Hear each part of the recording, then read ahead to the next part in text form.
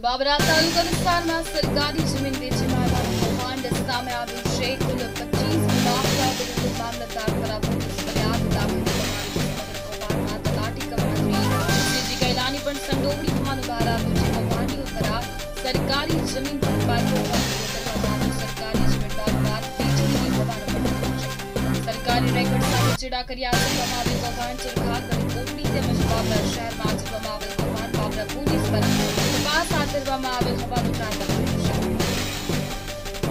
તો જમીન વેચી મારી દેવાનું સામે આવ્યું છે. પચીસ ભૂમાફિયાઓ વિરુદ્ધ મામલતદાર દ્વારા